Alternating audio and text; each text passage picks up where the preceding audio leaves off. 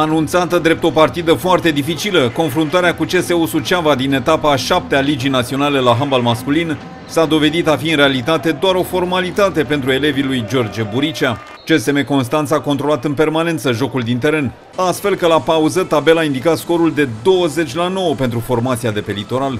Actul secund s-a desfășurat după aceeași partitură, fapt ce a permis antrenorului constanțenilor să ruleze toți jucătorii pe care i-a avut la dispoziție. S-a încheiat 37 la 25 pentru CSM Constanța, care a bifat astfel a șasea victorie în șapte etape disputate. Și la Vazlui am avut 16-10 la pauză și am făcut o repriză a doua mai slabă și am pus accent pe, pe partea asta, vreau seriozitate, să jucăm până la final. Ok, echipei din Suceava le-a lipsit câțiva jucători, dar noi am jucat la un nivel înalt, am dat foarte multe goluri, ne-am apărat exact, poartă foarte bună.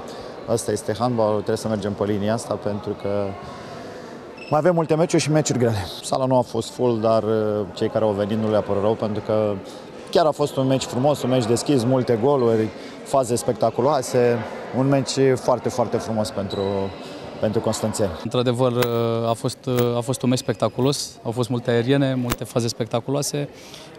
Sala n-a fost atât de plină precum sunt se întâmplă de obicei aici, uh, însă e mijlocul săptămânii, lumea este la serviciu, uh, dar mă bucură foarte mult, uh, băieții au avut o atitudine foarte bună și de la începutul meciului nu cred că s-a pus problema învingătorului astăzi.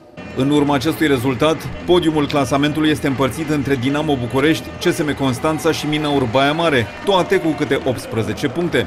Însă campioana României are un meci mai puțin disputat. Liga Națională de Handbal Masculin va lua acum o pauză competițională pentru a face loc meciurilor echipelor naționale.